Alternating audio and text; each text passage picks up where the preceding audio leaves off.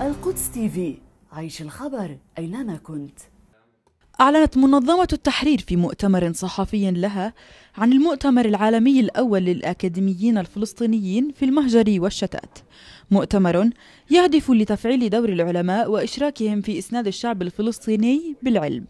انعقاد هذا المؤتمر العلمي الهام الأول للأكاديميين الفلسطينيين في المهجر والشتات يأتي بمبادرة من جامعة النجاح الوطني.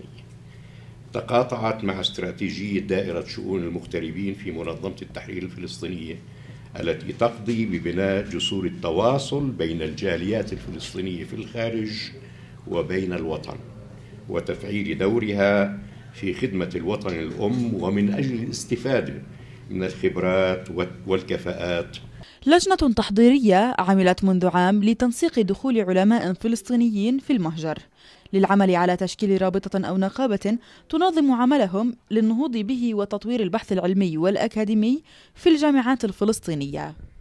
قبول حوالي 60 عالم وأكاديمي فلسطيني من المهجر والشتات للمشاركة في هذا المؤتمر. ولا زلنا نتلقى حتى هذه الساعة مشاركات أخرى. ونتوقع أن يزيد هذا العدد في الأيام المقبلة. إلى جانب هذا العدد سيشارك أيضا العلماء والأكاديميين الفلسطينيين في الوطن بكافة ساحاته الذي تحدثت عنها. مشاركات علمية بازدياد وأوراق عمل ومحاور وأهداف حددت بانتظار مؤتمر العلم والمعرفة مؤتمر علماء فلسطين في العاشر من نيسان المقبل. لتلفزيون القدس لام أبو هلال رام الله. تابعونا على مواقع التواصل الاجتماعي فيسبوك يوتيوب وتويتر.